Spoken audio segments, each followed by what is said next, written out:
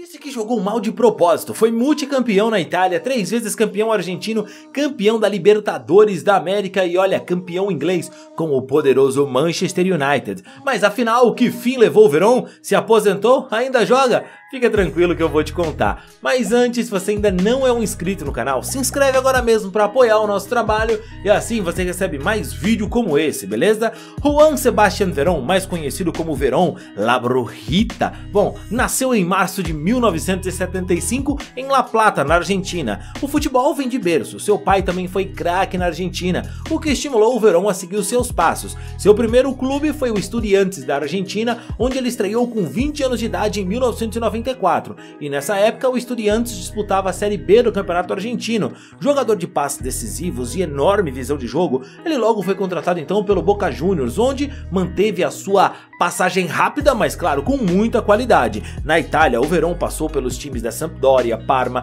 jogou também ao lado de grandes jogadores como o goleiro Buffon, o Crespo e entre outros que ele jogou pelo time da Lazio, onde ganhou o Campeonato Italiano e uma Copa da Itália na temporada de 99 e 2000.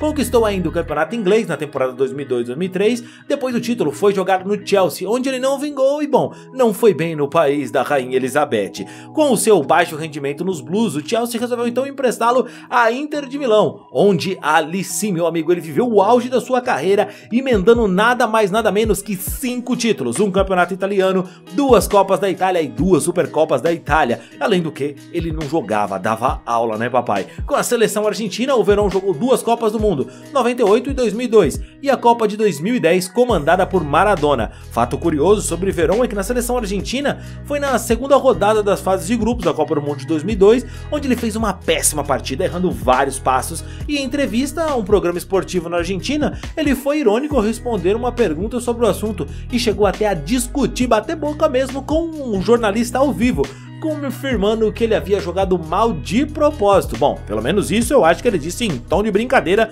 para ver se o jornalista parava de ser bobo. O Verón voltou para a Argentina em 2006 para defender novamente o time que o revelou. O Estudiantes ganhou um campeonato argentino em 2006 e também foi vice-campeão da Copa Sul-Americana de 2008. E em 2009 ele simplesmente fez chover. Ele levou o Estudiantes de uma forma épica e marcante ao título da Libertadores da América, infelizmente vencendo o Cruzeiro de virada por 2 a 1 dentro do estádio do Mineirão. Tá ok, é hora de eu fazer uma afirmação aqui nesse vídeo pessoal. O Verão é completamente obcecado por futebol. Ele se aposentou três vezes na sua carreira, não consegue largar de vez a bola. A primeira aposentadoria foi em 2011, mas ele retornou ao futebol em 2013 pelo Estudiantes. A segunda aposentadoria dele foi em 2014, coincidentemente no mesmo dia que se aposentaram Javier Zanetti e também Gabriel Renzi, ex-companheiros de seleção do verão. Será que eles combinaram o que? Uma aposentadoria em massa para marcar um churrascão? Bom, enfim, ele voltou aos gramados depois ainda em 2017, adivinha, pelo Estudiantes. Se o cara ama o futebol,